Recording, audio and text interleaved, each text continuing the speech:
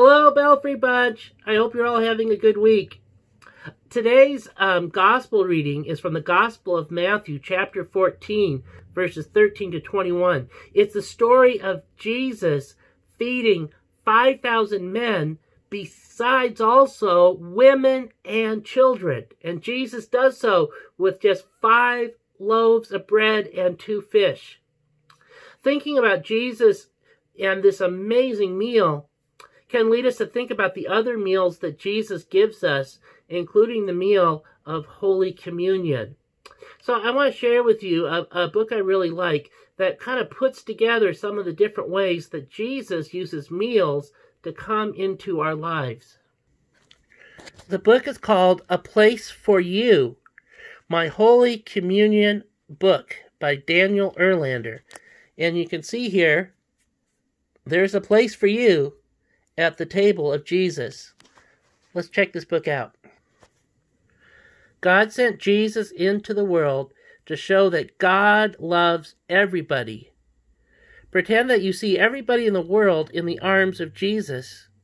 How many people can you hold in your arms?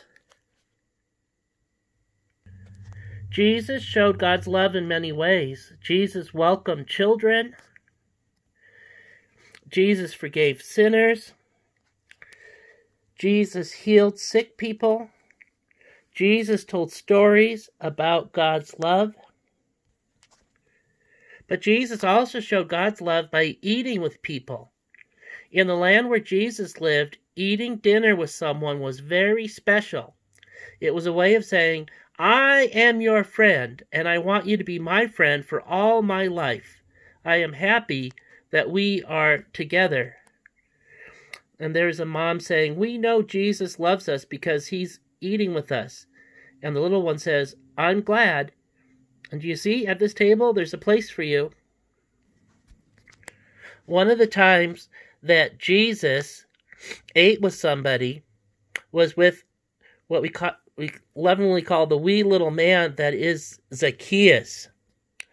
Now, crabby people back then, they didn't like Zacchaeus because he collected tax money for the Roman king, and they thought he was a bad person.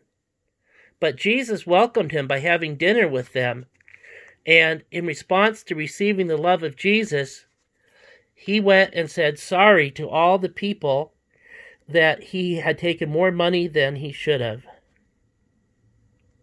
And then there's the story that is today's gospel reading. One day Jesus fed over 5,000 people in a grassy field.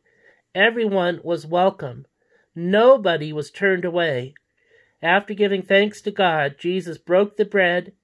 He shared the food with everybody. All had enough to eat. All were satisfied.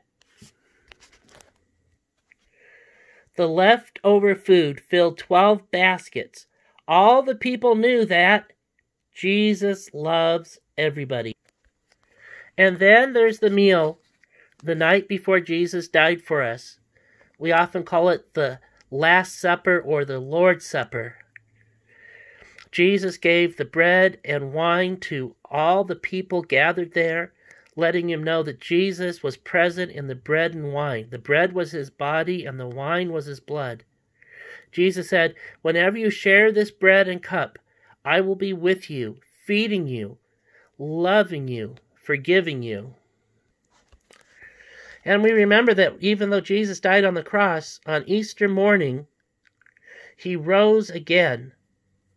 The angel says, He's not here, he is risen. And one of the things Jesus did on that first Easter was have a meal with two people. This is in Luke 24. The risen Jesus saw two friends walking to their home. They were very sad. They thought Jesus was dead. Jesus joined them on the road, but they did not recognize him. As they walked, Jesus talked to them about God. When the two of them arrived at their home, they invited the stranger to stay with them. When Jesus broke the bread of the meal, they recognized him. It's Jesus! He's alive! Jesus left. The two were happy because they knew Jesus was alive and would always meet them in the special meal. And now we remember that special meal whenever we have Holy Communion. Usually we have Holy Communion at church.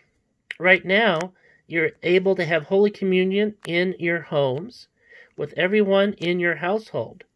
And see again in this picture, there's a place for you. Know that Jesus loves you very much and he has a place for you at his table. We know from Jesus that God loves everyone, and one day there'll be a meal where all people, all of creation are together. Jesus loves you, and with Jesus, there is a place for you. Okay, have a good week, Belfry Bunch. We'll see you again. Goodbye.